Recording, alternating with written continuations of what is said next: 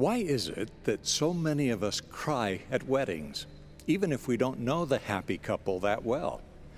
Few moments evoke such tenderness of feeling as the union of two people who pledge to live their lives as one. A new beginning unlike any other. A wedding invites us to think about life and its purposes a little more deeply.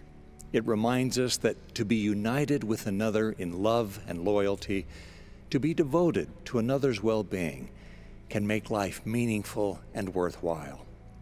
Not only the couple, but all who join in the celebration of their union rejoice in the miracle of marriage. Some might suggest that a wedding is an unnecessary formality, but the time honored tradition of a couple coming before their loved ones to make solemn marriage vows signifies the sincerity of their commitment.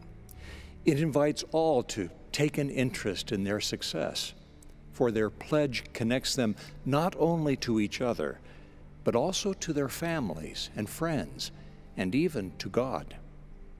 A wedding is not just the celebration of a day, it's the beginning of a sacred bond that can carry a couple through a lifetime of trials and difficulties. On that day, they plant the seeds of strength and hope as the tender relationship grows, the special promises and memories of their wedding day can help them weather the storms of life. Many couples celebrate anniversaries of their wedding day to remember and renew their commitment and love. But a once a year commemoration is not enough to keep love alive, any more than annual watering is enough to nourish a growing plant continual reminders and daily habits are necessary to keep the relationship vibrant. Whether we are married or not, we all want the relationship of a newly married couple to succeed.